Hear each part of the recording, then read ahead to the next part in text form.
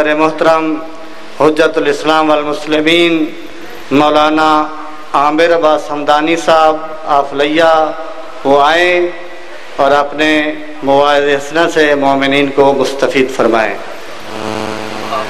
نعرے تکبیر نعرے رسالت نعرے حیدری۔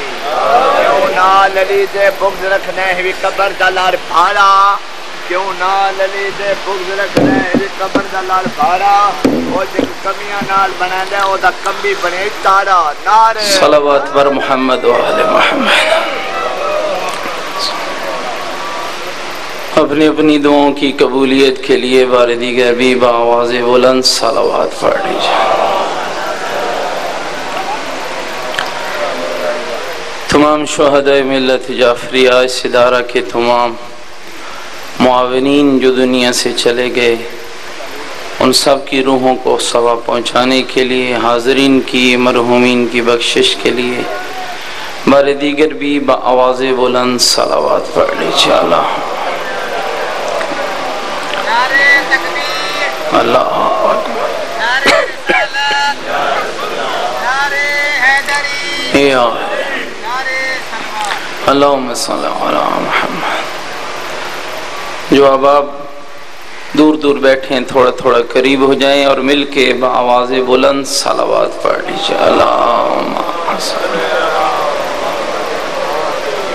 لا حول ولا قوة الا باللہ العلی العظیم۔ اعوذ باللہ من الشیطان الرجیم۔ بسم اللہ الرحمن الرحیم۔ الحمد للہ رب العالمین والعاقبت للمتقین والنار للمنافقین الصلاة والسلام على سیدنا ونبینا والشفیع ذنوبنا وطبیب قلوبنا ومولانا ابو القاسم محمد والہ طیبین الطاہرین المعصومین المظلومین المنتجبین الذين أذهب الله عنهم الرجس وطهرهم تطهيرا.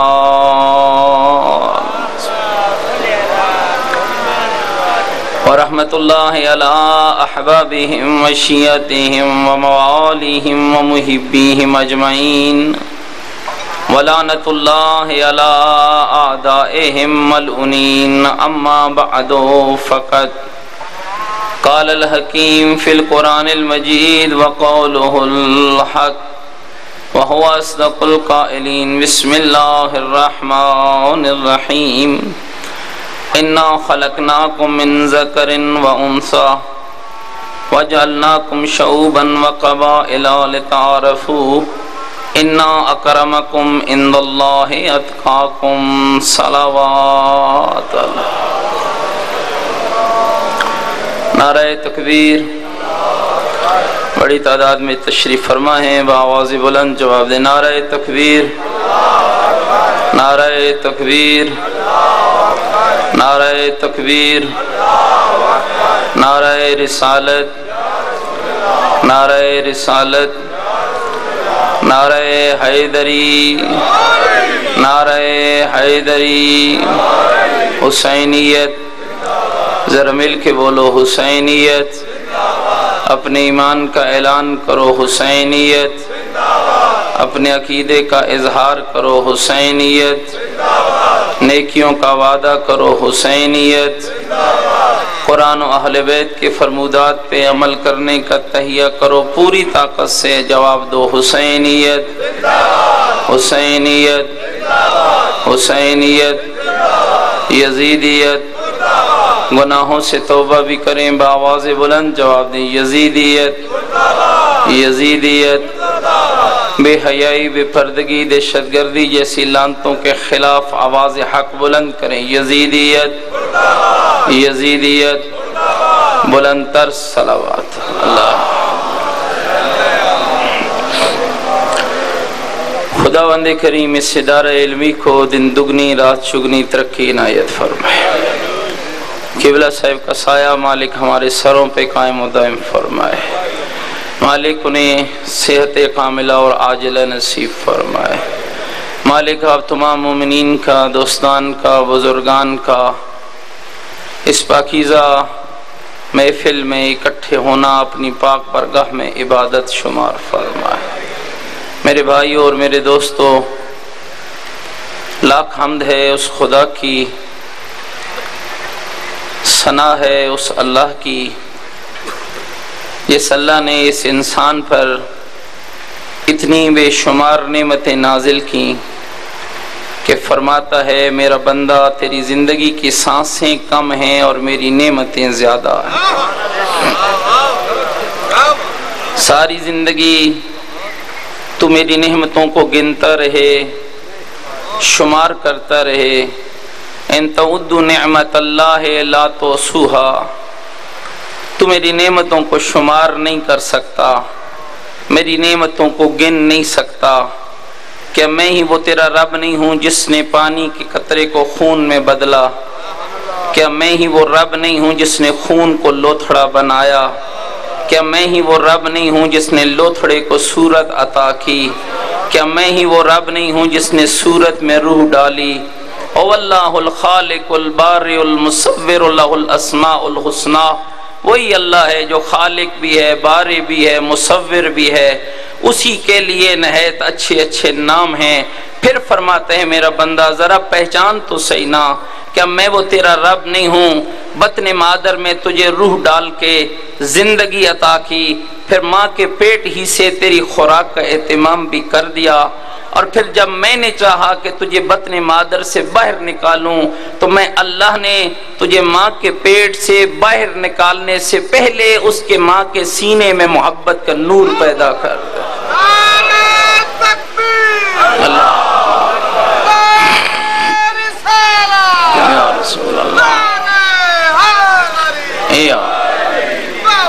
کتنا کریم ہے تیرا اللہ، کتنا مہربان ہے تیرا پروردگار۔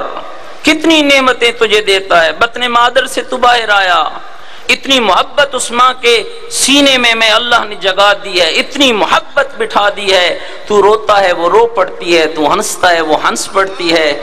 گرمیوں کے لمبے دن ہوں، وہ گرمی کاٹے گی، تجھے نہیں لگنے دے گی۔ سردیوں کی لمبی راتیں ہوں، وہ برداشت کرے گی، تجھے نہیں لگنے دے گی۔ لیکن میرا بندہ ایک وہ وقت آتا ہے جب تو جوانی کی دہلیز پہ قدم رکھتا ہے۔ چند دنوں کے لیے ماں سے رخ کو موڑتا ہے۔ ماں دروازہ بند کر کے کہ توجہ فرمانا میرے جملے پہ۔ ماں دروازہ بند کر کے کہہ دیتی ہے، جا تو نے مجھ سے رخ موڑا ہے، میری محبتوں کا کیا صلہ دیا، میرے پیار کا کیا صلہ دیا، میرے لطف کا کیا صلہ دیا، میری چاہتوں کا کیا صلہ دیا۔ جا آج کے بعد تیرے میرے راستے الگ ہیں، تجھے دودھ نہیں بخشوں گی تجھ سے نہیں بولوں گی اس وقت خدا کی آواز آتی ہے، تیری ماں تو نے چند دن اس سے منہ موڑا ہے، اس نے تجھ سے بولنا بھی چھوڑ دیا ہے، تجھ سے بات کرنا بھی چھوڑ دی ہے۔ اور میرا بندہ ذرا مجھے پہچان لینا، میں کتنا مہربان تیرا رب ہوں، ستر سال ہو گئے، تو گناہ کرتا رہتا ہے، میں پردے ڈالتا رہتا ہوں، تو گناہ کرتا رہتا ہے، میں چھپاتا رہتا ہوں،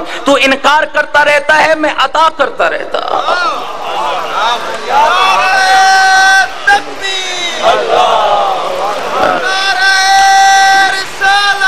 یا رسول اللہ یا کل سمجھیں دے بیٹھے بات سمجھ آ رہی ہے۔ جو مقصد عرض کرنا چاہتا ہوں۔ غور تو کر۔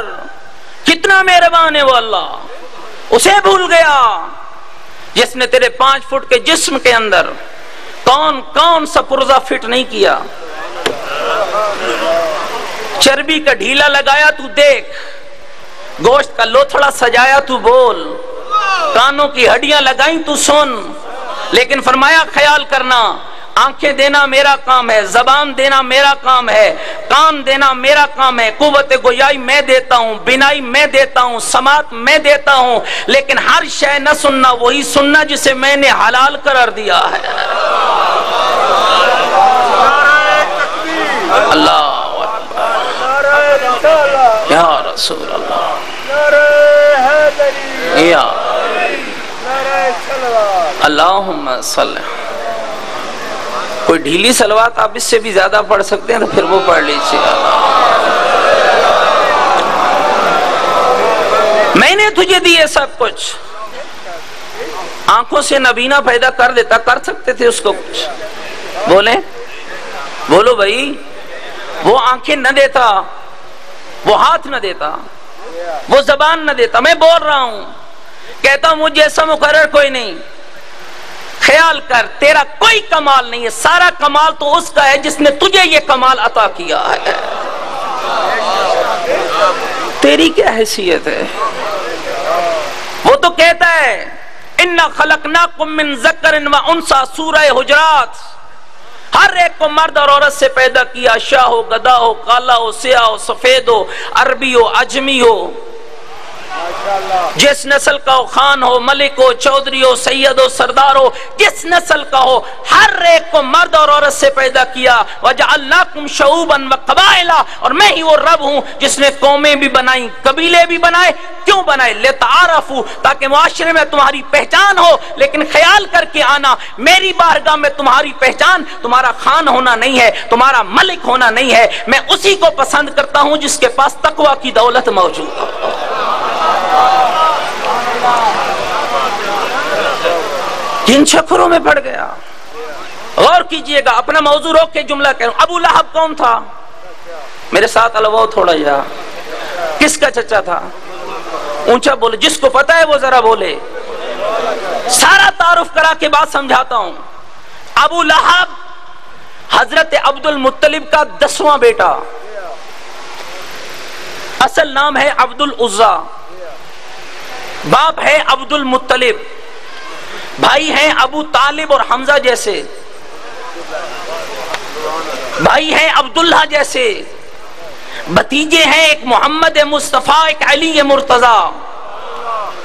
باپ وہ ہے جو نگبان بہت اللہ ہے اور جس کا اللہ پہ یقین اتنا ہے۔ جب ابرا آیا تھا بہت اللہ پہ حملہ کرنے کے لیے، اس نے حضرت کے اونٹوں کو چرا لیا تھا۔ حضرت پہاڑوں پہ تھے، پیغام ملا کہ ابرا آیا، اونٹوں کو چرا لیا بہت اللہ پہ حملہ کرنا چاہتا ہے۔ حضرت پہاڑوں سے اترے، نہ فوج بلائی، نہ سپاہ بلائی، نہ کسی کو مانگا، نہ کسی کو بلایا، نہ کسی کو پکارا۔ چلتے چلتے ابرا کے پاس آئے، کہا، ابرا میرے اونٹ مجھے لوٹا دو۔ کہنے لگا، حضرت، اونٹ اونٹوں کی فکر ہے اللہ کے گھر کی فکر نہیں ہے۔ فرمایا ہر مالک کو اپنے مال کی فکر ہوتی ہے۔ اونٹوں کا مالک میں ہوں بیت اللہ کا مالک کوئی اور ہے؟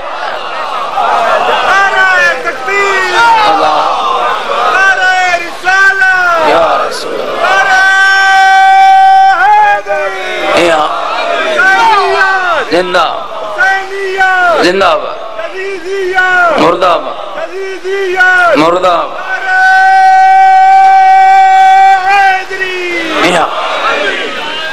تو جو کرنا چاہتا ہے کر۔ میں جانتا ہوں کہ تیرے ساتھ کیا ہوگا۔ اور قرآن نے اس واقعے کو لکھا علم تر کیف فعل ربک باصحاب الفیل؟ کیا نہیں دیکھا تو نے کہ تیرے رب نے ہاتھی والوں کے ساتھ کیا کیا۔ بڑے بڑے ہاتھیوں پہ، او میرا بھائی غور کیا کر، کبھی اپنے آپ کو زمانے میں بڑا نہ کہنا۔ بڑی وہی ذات ہے جو رازق بھی ہے، مالک بھی ہے، داتا بھی ہے، خالق بھی ہے۔ دینا چاہے دے دیتا ہے، چھیننا چاہے چھین لیتا ہے، عطا کرنا چاہے کر دیتا ہے، واپس لینا چاہے لے لیتا ہے۔ بیٹے دے، اس کی مرضی، بیٹیاں دے، اس کی مرضی، دونوں دے، اس کی مرضی، کچھ نہ دے۔ اس کی مرضی، پانی برسائے اس کی مرضی، دھوپ دے دے اس کی مرضی۔ زمین کو سیباں بنایا، زمین کو بچھونا بنایا، اس نے آسمان کو سیباں بنایا، اس نے آسمان سے پانی برسایا، اس نے بل کھاتی وادیاں بنائی، اس نے مونگے موتی پیدا کیے، اس نے حشرات بنائے، اس نے حیوانات بنائے، اس نے پتے لگائے، اس نے درخت بنائے، اس نے فرماتے ہیں، تیری کیا مرضی ہے؟ تو کر سکتا ہے، تو ایک دانہ تو زمین پہ بو کے اپنے گھروں کو لوٹ جاتا ہے، سوچا کر اس دانے سے پھل نکال نکالنے والا کون ہے؟ پودا بنانے والا کون ہے؟ مٹی کے سخت ڈھیلوں سے بچانے والا کون ہے؟ ہوا کے تھپیڑوں سے بچانے والا کون ہے؟ اسے گرمی اور شدی گرمی کی شدت اور گرمی کی حدت سے بچانے والا کون ہے؟ فرمایا، وہ میں ہی تیرا رب ہوں۔ ہم نے تو بھائی، آج افسوس کے ساتھ کہنا پڑتا ہے، وقت نہیں ہے۔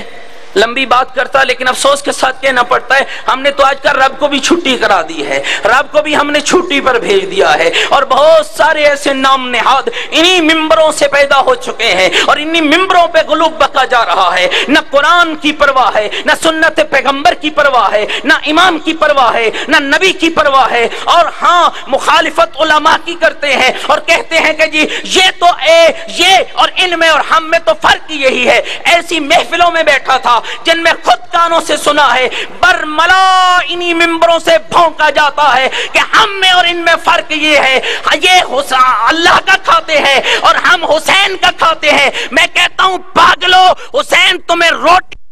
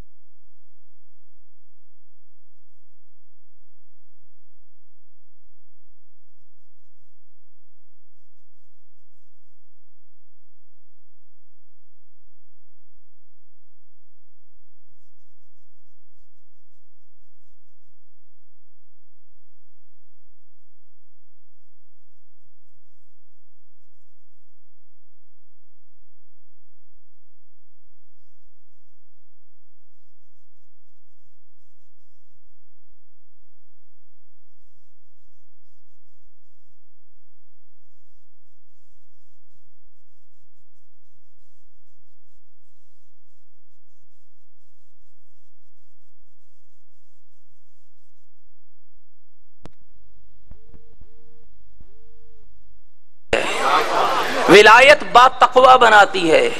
ان اکرمکم عند اللہ اتقاکم اللہ کے ہاں عزت والا وہی ہے جو متقی ہے۔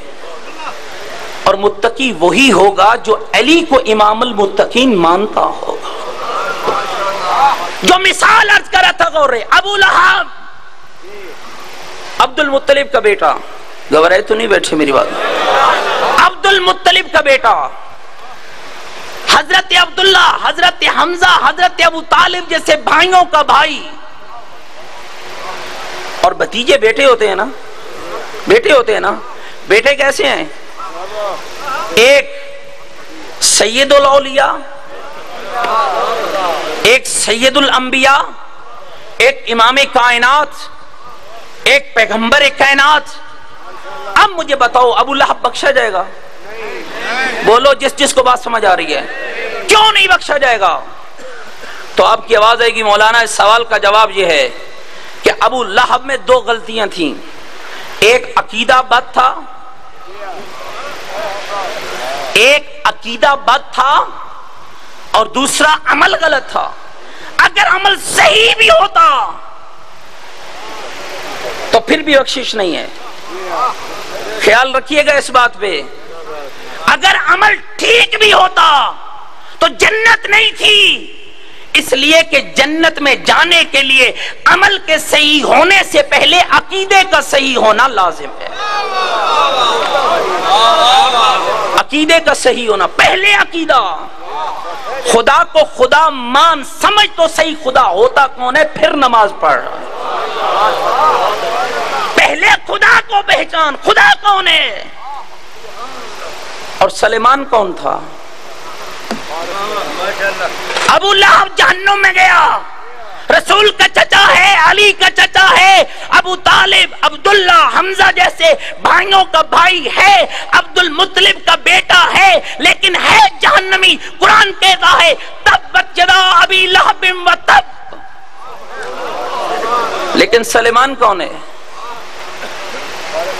کوئی رسول سے رشتہ داری نہیں۔ کوئی مولا امیر سے رشتہ نہیں۔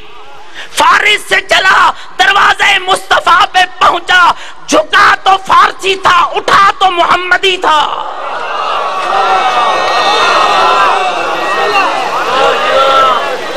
کیسے محمدی بنا؟ کیا پیغمبر نے اسے کوئی کیپسول کھلایا؟ بھائی کھا لے جلدی جلدی، فارسی سے محمدی بن جائے گا۔ کیا کوئی تعویز سلمان بکرا لے کر گیا تھا کہ اس نے دربار پہ بکرا چڑھایا، اسے تعویز ملا اور محمدی بن گیا۔ او بھائی، یہاں تعویزوں سے کام نہیں چلے گا، یہاں کردار چاہیے۔ لوگ جھگڑ رہے تھے سلیمان سے۔ آخری بات، میرے قبلہ موجود ہے مسائب سنائیں گے، میں بات ختم کر کے جا رہا ہوں۔ آخری بات، سلیمان سے جھگڑنے لگے لوگ۔ او سلیمان پتہ ہے تیری ماں کون ہے؟ جیسے آج کل کہتے ہیں بھائی، شاہ صاحب ناراض ہو گئے۔ ہمدانی صاحب نے کہا، میں نہیں پڑھتا اس کے پیچھے نماز۔ اس کا باپ ہماری جوتیاں گانٹتا تھا۔ ہم اس کے پیچھے کیوں نماز پڑھیں؟ میں سید ہوں۔ یہ چھوٹے بندے کا بیٹا ہے۔ میں اس کے پیچھے کیوں پڑھوں؟ تجھے خود خوف کرنا چاہیے۔ اس کے چھوٹے باپ نے جوتیاں گانٹ کر اسے حلال کھلا کر زہرا کے بابے کا دین پڑھایا۔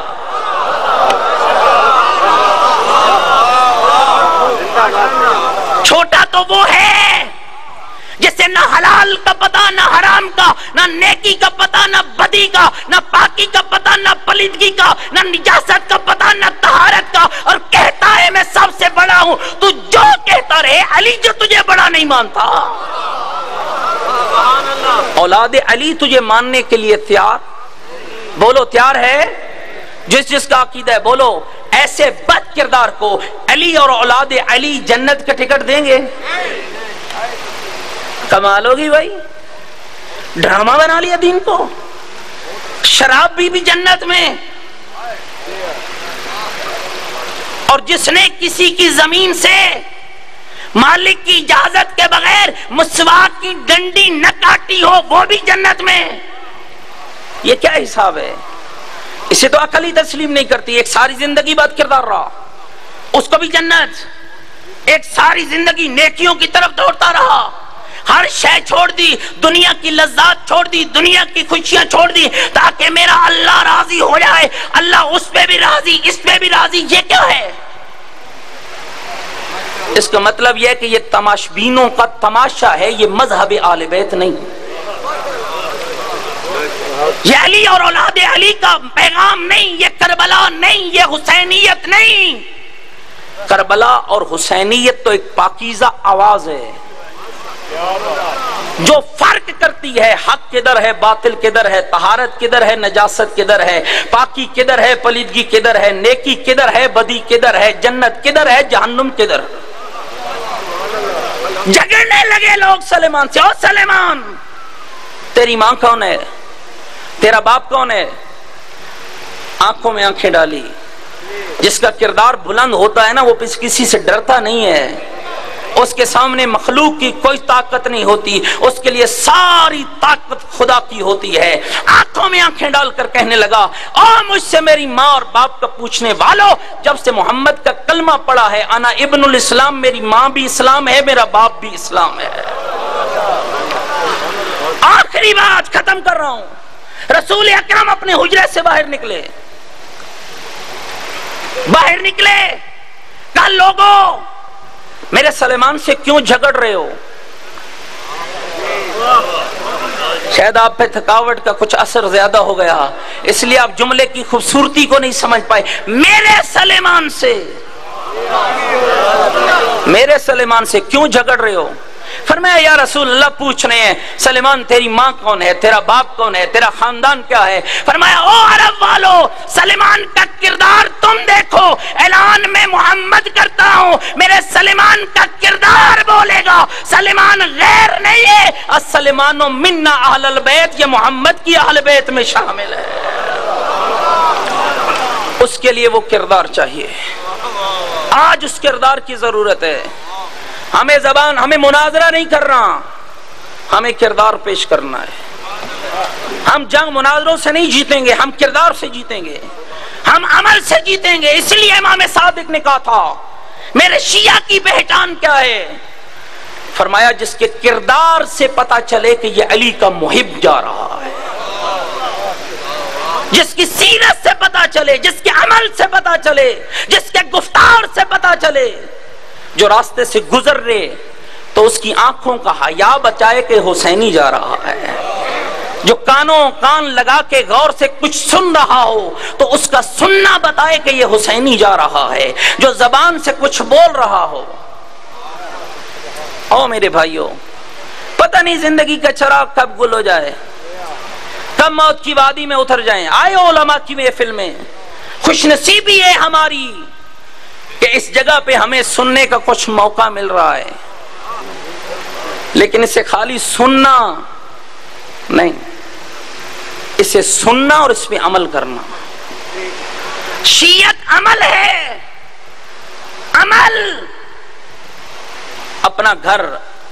آخری بات۔ امام زمان کا ظہور ہوگا۔ جس جس کو امام کے ظہور کی جلدی ہے، مولا کی ذات پہ بلند سلوات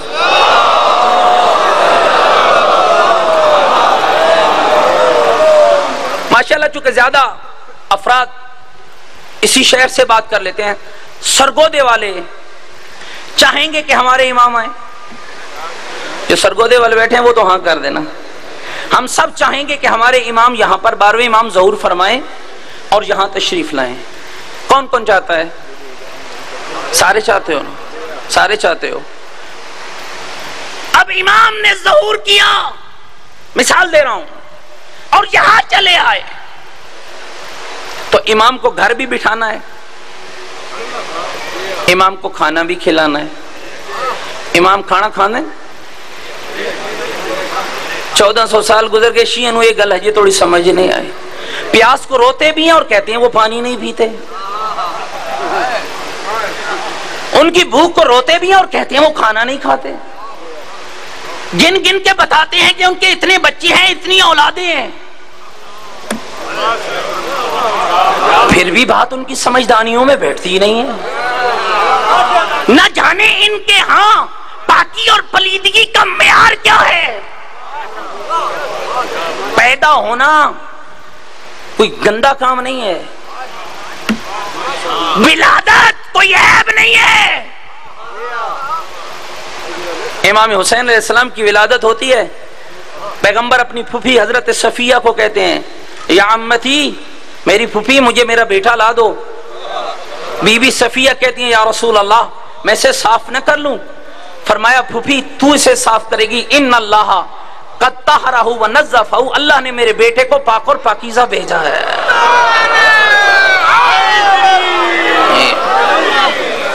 لیکن ولادت عیب نہیں۔ ولادت گناہ نہیں۔ اور میں سیدوں سے گزارش کروں گا، خود بھی سید ہوں۔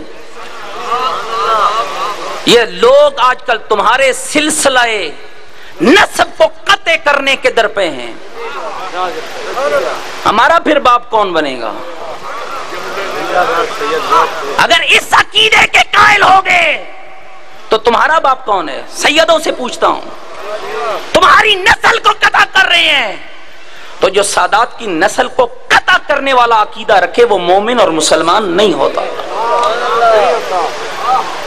امام آئیں گے۔ گھر بھی لے جانا ہے۔ ناراض تو نہیں ہوگا اور امام کو کھانا بھی کھلانا ہے۔ کیا ہمارا گھر اس لائق ہے؟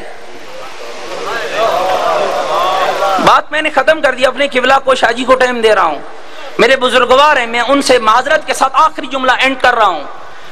امام نے آنا ہے، گھر بھی لے جانا ہے، کھانا بھی کھلانا ہے۔ کیا ہمارا گھر اس لائق ہے؟ کیا ہمارا کھانا اس قابل ہے؟ نہ گھر امام کے آنے کے لائق، نہ کھانا اس کو کھلانے کے لائق۔ تو یہ کیسی شیعت ہے؟ تیرا کھانا اتنا بھی لائق نہیں ہے کہ تو امام کو کھلا سکے۔ تو پھر نعرہ شیعت کا تب لگانا جب گھر امام کے بیٹھنے کے قابل ہو جائے اور کھانا امام کے کھانے کے قابل ہو جائے۔ پہلے اپنی تطہیر کرو۔ فتوے دینا بڑا آسان ہے میرے بھائیوں فتوہ دینا تو آج کل تو لوگ چولیوں پہ بیٹھ کے، جس کی بیوی بات نہیں مانتی ہے وہ بھی فتوے لیے پھرتا ہے۔ جس کی گھر والی اسے دوسری مرتبہ سالن نہیں دیتی وہ بھی فتوے لے کے گھوم رہا ہے۔ اور فتوہ بھی ایت اللہ سستانی پہ لگاتا ہے۔ یہ کیوں کہہ دیا؟ یہ کیوں لکھ دیا؟ اے کبھی سوچ وہ عالم ہے وہ تجھ سے پوچھ کے لکھنے والا نہیں ہے۔ اس کی نگاہ میں یہ قرآن ہوتا ہے یا چودہ کا فرمان ہوتا ہے۔